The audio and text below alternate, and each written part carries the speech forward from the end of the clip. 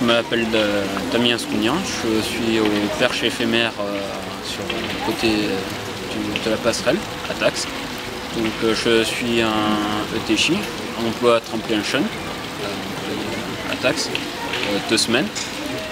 je m'occupe de la mise en place de tout ce qui est chaise longue et des, épreuves en voiture, comme voir avec euh, la ludothèque ou euh, la bibliothèque.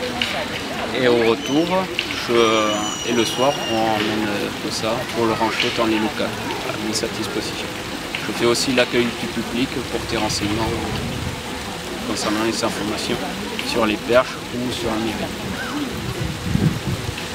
Et qu'est-ce qui te plaît dans ce travail? Comment tu te sens? Euh, Très bien, les champs ils sont souriants, je suis content de l'accueil. L'équipe elle est bien aussi.